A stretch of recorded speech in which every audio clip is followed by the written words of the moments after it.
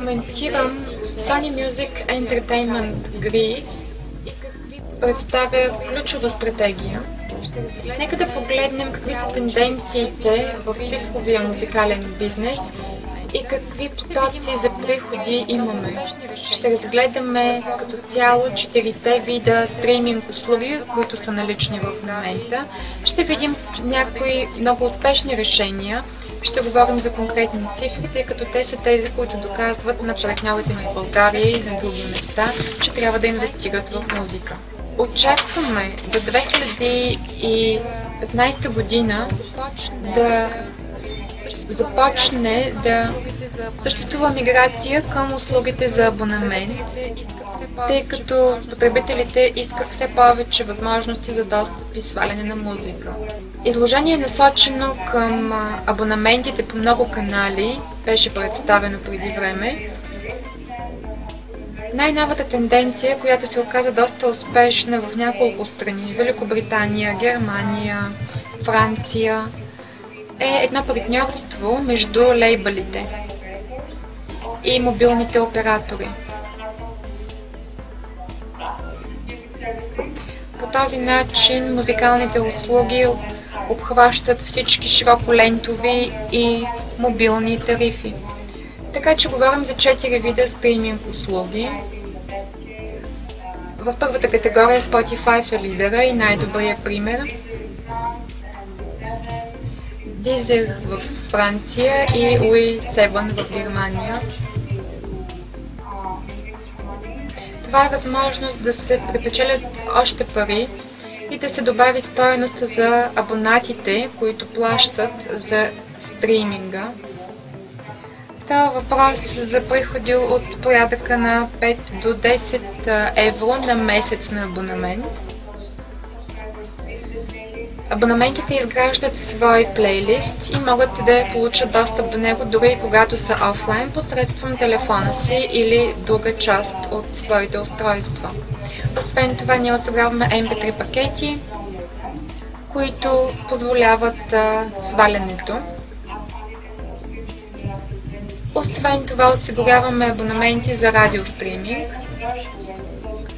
но взаимодействието е по доста противоречив начин, тъй като няма позволение да се повтори още веднъж песента, така че трябва да преминете към следващата или да използвате fast forward. А що се отнася до видеоклиповете, те са доста кратички. Някои услуги за абонамент. Най-добрата е TDC Play, Telenor в Норвегия, друга в Швеция. Скандинавските страни са първите, които решиха да използват тази тенденция. Дизел в Франция и TRNet в Турция. Ще ви покажа как се извършва това малко по-късно. TDC Play през 2008 година предложиха цялостен широколентов достъп до двоен стриминг и в момента имат 140 000 абоната и управляват 60% намаляване на пропуските в една доста конкурентна среда. Музикалните тарифи са 30 евро на песен и те имат 1 милион и 200 хиляди потребители.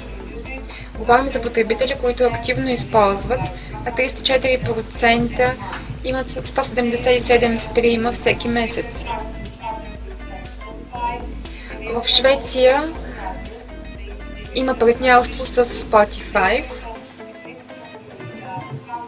Беше предложена значителна отстъпка 29 крони, което е 3 долара и половина с стандартните цени за нещо, което в принцип струва 12 долара. Виждате, че партньорството е най-ефективният начин за закупване на планове с по-висока стоеност. В Турция компанията започна този проект. В Корея предложих стриминг за 4 долара. използват приходни данни от 21% до 29%. Още някои конкретни случаи. Някои от по-ново време, май 2011 година, канали Дижитали в Норвегия.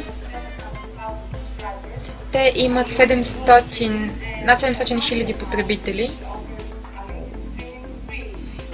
и предлагат ограничен стриминг, до, който да обхваща до 3 души.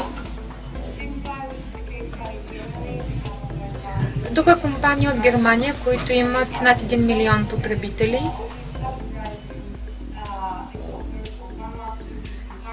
Те субсидират офертата си всеки месец, а също допълнителни 9 евро на месец може да получите допълнителен стриминг.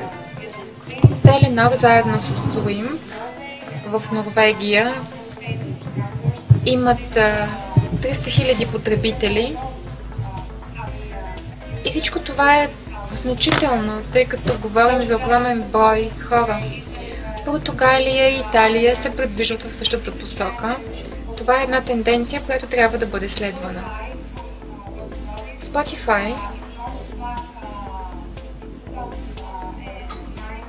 през 2009 година започна в определени европейски страни, а сега е налично в 7 европейски територии.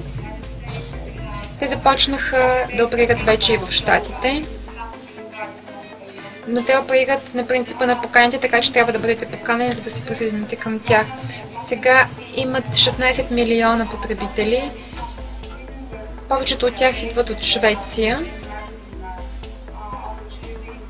и имат много пазарни възможности. В Швеция предлагат а, три различни услуги. В някой стриминг може да се прекъсва от определени реклами. А Spotify Premium, който осигурява неограничен стриминг онлайн и по мобилни устройства, неограничен достъп до плейлисти и повече възможности за сваляне струва съответно повече. През юни 2011 година повече от 3 милиона регистрирани потребители са били включени и 700 хиляди от тях, т.е. 27% са използвали услугата. Тези, които заплащат 80%, отиват за по-големите, по-скъпите пакети, които струват 10 евро. В Штатите за по-малко от месец 73% от 230 хиляди потребители са част от възрастовата група от 18 до 35 годишни, тъй като те са тези, които имат покупателна способност.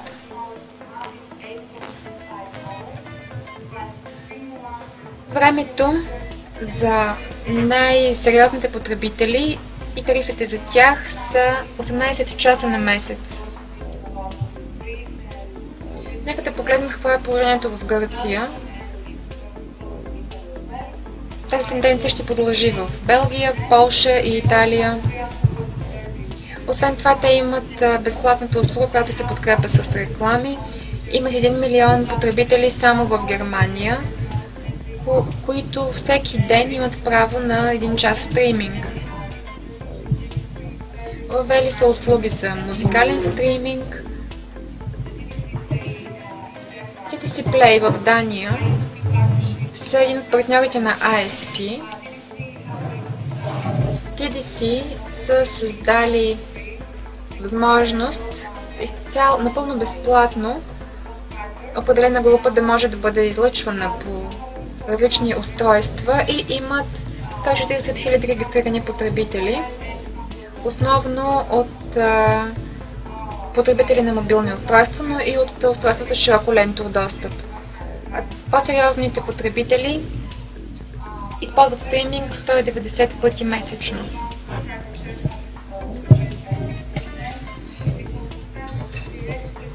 Когато потребителите се регистрират, те могат да оформят своите плейлисти и да продължат да бъдат активни в TDC. Нещо, което е много важно е, че 68% от всички дъчани са чували за тази услуга броени седмици след стартирането й. Дизер във Франция стартира 2008 година. Orange субсидира услугата за тези, които използват потребителския план Surf. 1 милион и 200 хиляди души са потребители на тази услуга, а това е много висока степен на активация. Wimp канал Digital в Норвегия са едно от най-новите партньорства в Норвегия. Започнаха с лимитирани оферти, а след това предложиха тази услуга на цялата си база 700 000 потребители.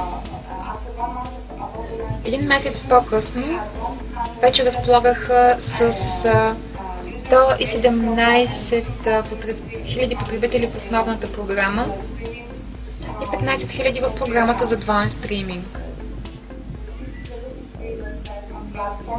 Това е възможно да се видят определени платформи. Много лесно да се открие музика посредством тях. Някои функционалности, които сайтовете поддържат за намиране на музика или по албум, или по песен, или по изпълнител, по жанр. Много е важно да се формулират плейлистите.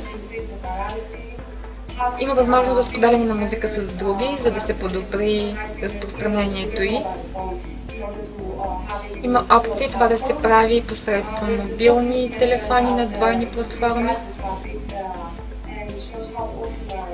Има метри, които отбелязват колко е популярен определен изпълнител или определена песен. Не е нужно да бъдете онлайн, за да може да извършвате стриминг с плейлистите си. Може да сте си подготвил да слушате Шакира или Бионсе, само един изпълнител. Може да купите музика и от а, магазина и да стимулирате приходите за платформите. И разбира се, има социални функции. Може да споделяте музиката си с потребители на Facebook и Twitter и да ги поканите да се присъединят към платформата. И така, най-общо казано, това са последните два слайда. Ключовият аспект на успешната музикална услуга е да се идентифицира модела, който е подходящ за нуждите на бизнеса. Независимо дали говорим за създаване на пакети от преки приходи или предплатени услуги. Дали предлагате тази услуга и настоявате вашите потребители да я използват? Говорим и за хибридни модели, от които може да се печели по пряк и непряк начин. Компания трябва да може да идентифицира кое е най-подходящото предложение за тяхната база клиенти. Дали само стриминг, или онлайн мобайл услуги, или стриминг, дали ще поддържат MP3.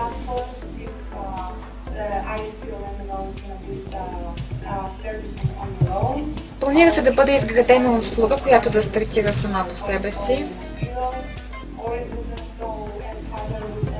Дали ще партнирате с други компании, като например Deezer или Spotify. Това, което е много важно, е да включите всички лейбъли, тъй като абонатите знаят личните брандове, познават Бионсе, познават Лейди Гага. На последно място, какви са ползите? Разбира се, възможно е един потребител да направи своя плейлист и да остане в мрежата, но има и много възможности да се предложи нещо конкретно за съответния клиент. Освен това, дори в един наситен пазар, тази стратегия може да проработи, ако придобиването се ускори. Това може да се предложи от мобилни оператори, може да се изгради позитивна асоциация с бранда. Има допълнителни MP3 паркове за сваляне на музика.